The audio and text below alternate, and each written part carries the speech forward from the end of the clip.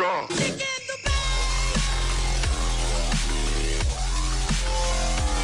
Go check out igsky.com if you're looking for some cheap FIFA 16 coins. Use Rossi for an 8% discount. Enjoy the video. Hello guys, Mr. Rossi1990 here, and it's going to be another one of these transfer rumours videos. Now these are going to be ones covering the weekend and what went down. A few of them we've already covered, but also at the same time there's a lot of new ones. There's about 23 to cover for today's episode, so if you can smash a like button.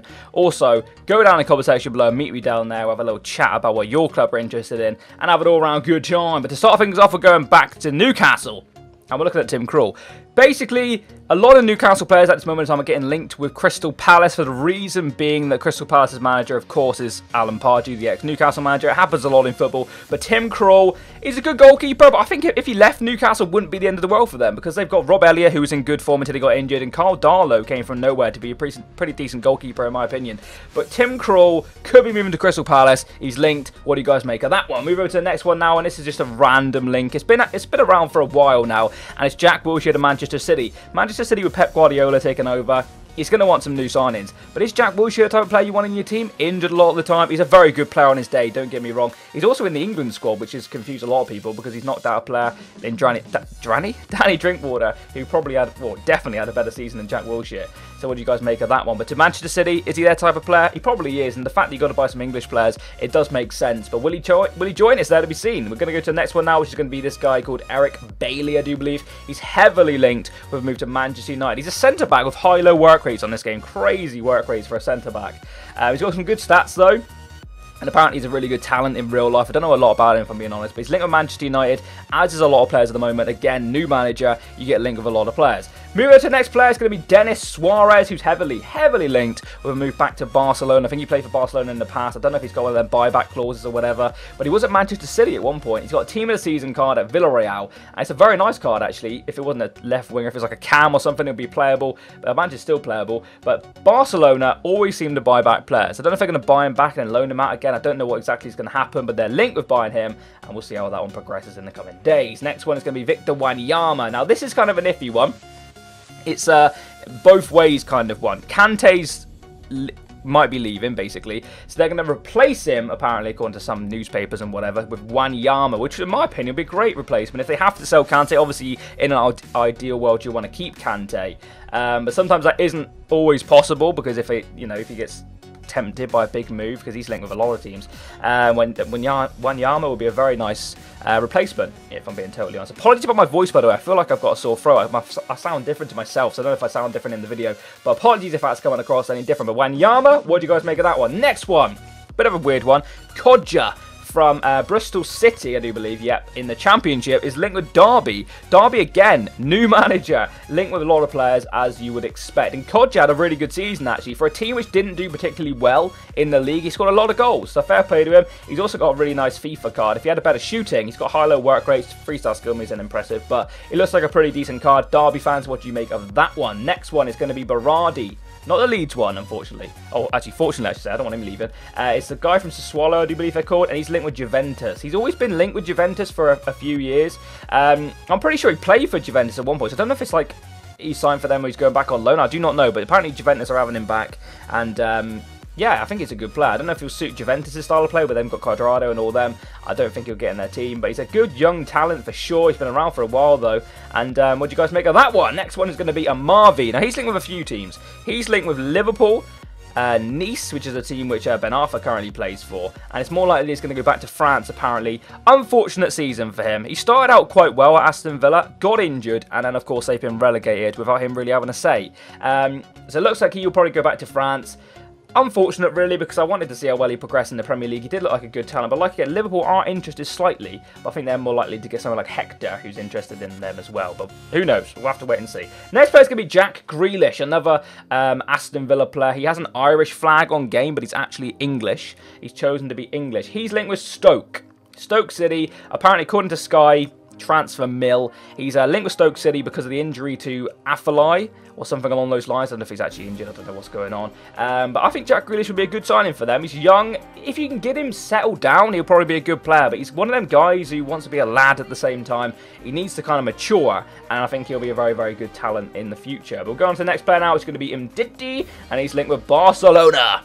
Barcelona just sold Marc Bartra to uh, Dortmund, so be you know, like for like replacement, you probably say a kind of backup defender. But Umtiti's a very good defender. Again, he's got a, he's got a team of the season card, which says it all really. You must have had a good season to get a team of the season card. So what do you guys make of that one? Barcelona interested in Umtiti, them tits hopefully uh, they get him if they want him. But we're going to go move over to the next one, which is going to be a bit of a strange one, but kind of a one you would expect is Alvaro Arbeloa linked with Newcastle. Obvious reason is that Rafa Benitez somehow is in charge of Newcastle. Crazy to stay on, in my opinion, but fair play to him. So a lot of coaches would have left and gone to a probably a you know a, a team which had in the Premiership or in the top league. But Newcastle, you could almost say they're almost guaranteed to go straight back up. There's never any guarantee. They could have a bad season, you never know. But I feel as if they're, they're almost guaranteed to go straight back up personally. But Alvaro Arbeloa, link of a move to Newcastle. What do you guys make of that? Do you feel as if he's better than Janmaat? I don't know. I haven't seen Arbeloa in a few years. I don't know if he's uh, he's still 80 rated on FIFA, so he must be half decent in real life to get that rating. But what do you guys make of that one? Move to the next one, and we're at Graham Dorrans, who's actually linked with uh, Aston Villa, I do believe it is. Um, he's a good player, Graham Dorrans. Uh, he plays for Norwich, of course, who got relegated. He's got a good FIFA Ultimate Team card as a silver. I've used him in a few teams before to get some links. Uh, what do you guys make of that one? Crazy transfer rumour. But we'll move on to the next one now, which is going to be Andros Townsend, another player who's linked with Crystal Palace. He's also linked with Sporting Lisbon. But I think you're more likely to go to Crystal Palace, if anywhere, being English and want to stay in the English league. Personally, I feel as if that will be the case. But again, he's another player who's linked with ex Newcastle manager um, Alan Pardew. But Alan Pardew didn't actually have Townsend. Townsend was a signing of um, Steve McClaren, unfortunately, for Newcastle fans. He's the worst manager in the world. But anyway, Andros Townsend had a really good season for Newcastle, even though they got relegated. He was a bright spark in your team, and um, what do you guys make of that? I somehow think they're going to keep hold of him. I don't know why, but I feel as if he'll stay there and have a phenomenal season and be like the best championship player by an absolute mile. Uh, but we're going to move on to the next player now, which is going to be another Newcastle player, which is Wijnaldum.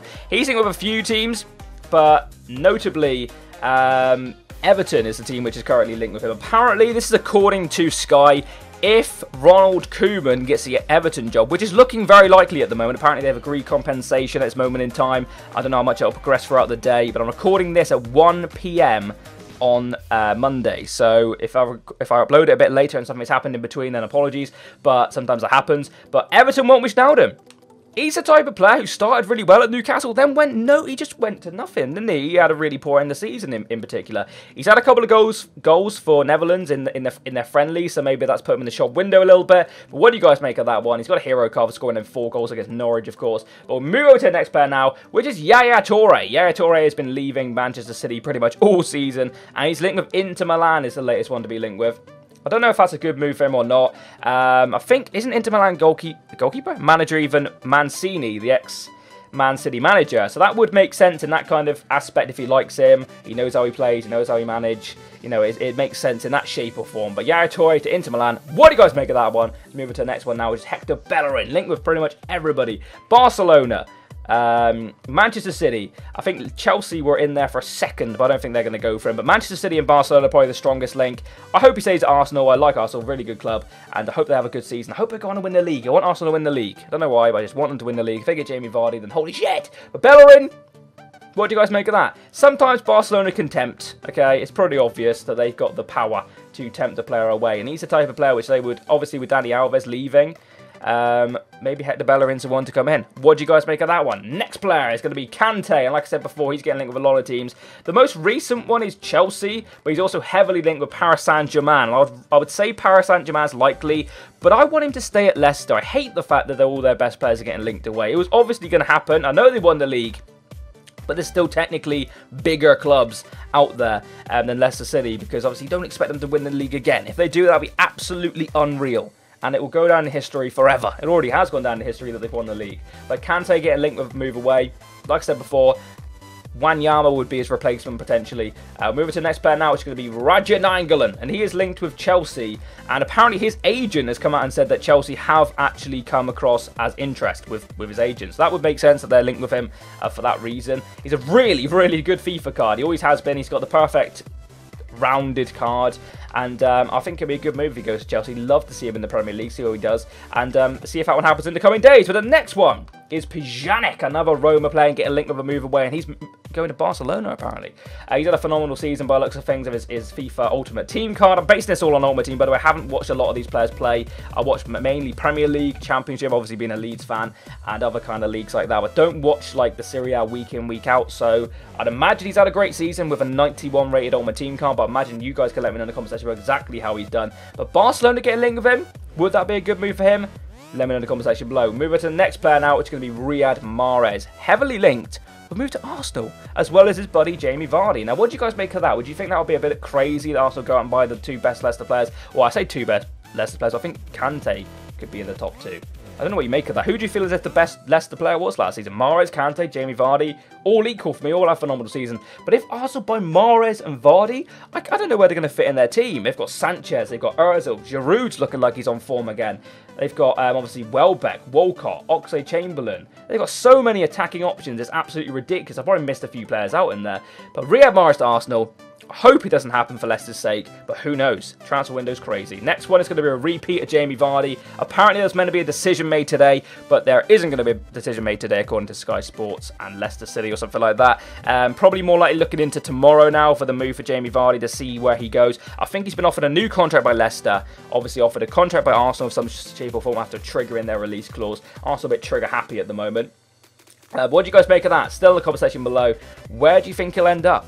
I've got a horrible feeling he's going to go to Arsenal. I say horrible feelings. I want Leicester to keep their best players, but it's just it's just the way it is in football. You just go to the bigger club. But the final player is going to be. Oh, see, there's one more after this. But Zlatan Ibrahimovic is apparently due to sign for Manchester United tomorrow, Tuesday.